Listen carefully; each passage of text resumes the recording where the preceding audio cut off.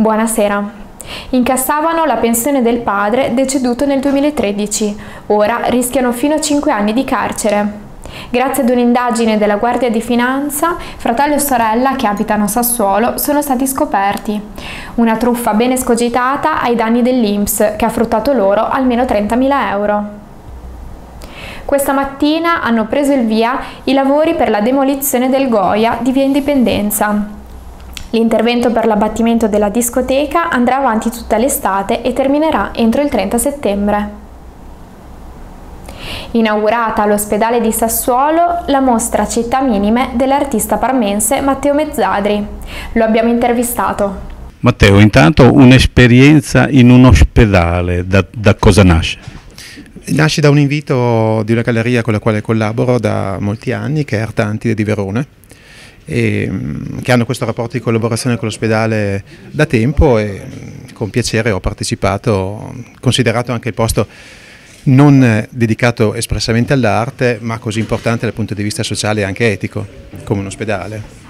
È la prima volta in assoluto quindi? Per me in assoluto, che espongo in ospedale in assoluto. E, ma devo dire che lo spazio alla fine, per quanto sia una corsia, in qualche modo si presta, uno spazio bianco, potrebbe quasi sembrare uno spazio dedicato. Dove e quando nasce la tua arte?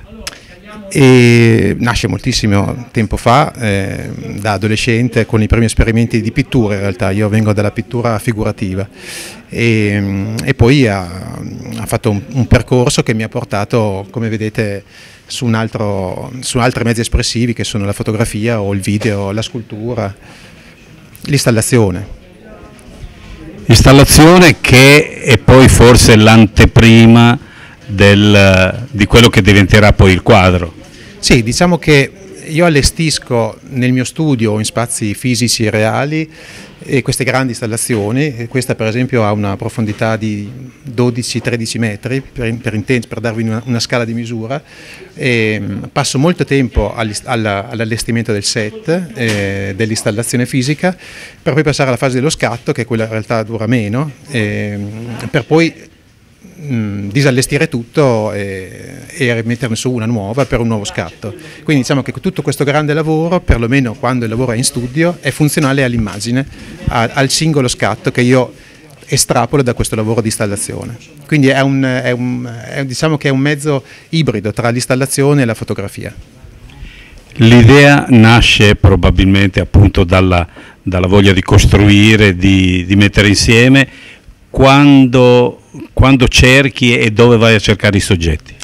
L'idea in realtà nasce da un, da un, mio approfondimento personale che dura da tanto tempo sulla metropoli, eh, che per me è uno spunto di riflessione molto mh, importante. Eh, indagare, ricercare la metropoli contemporanea e le relazioni che vivono, che, mh, che animano la metropoli contemporanea è da, da sempre per me un tema molto affascinante infatti questo lavoro nasce a New York eh, durante una residenza d'artista eh, dove ho immaginato, ho avuto i, i, primi spunti per arrivare poi a questa che è la forma definitiva insomma, di, quel, quel concetto embrionale.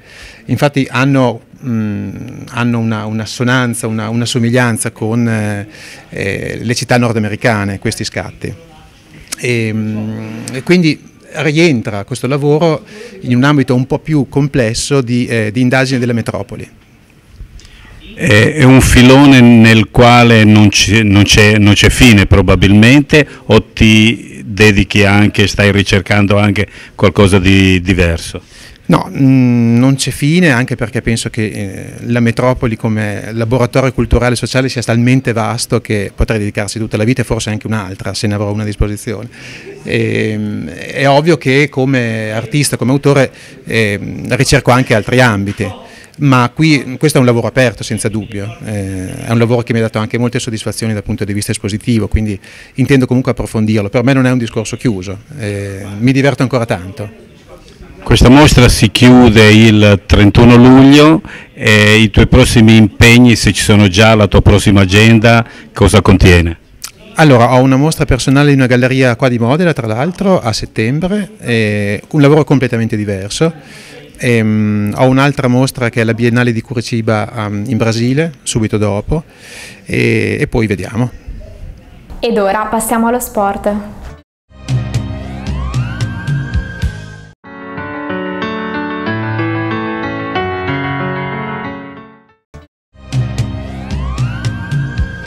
Nuovo colpo in casa Canovi Coperture Volley. La squadra del presidente Borruto si allarga e accoglie la centrale classe 1998 Francesca Fava. Questa sera, in occasione dei giovedì di luglio, la pallavolista verrà presentata in Piazzale Teggia. Grazie per essere stati con noi anche per questa edizione di Sassuolo Oggi TG è tutto. L'appuntamento come sempre è a domani. Buona serata!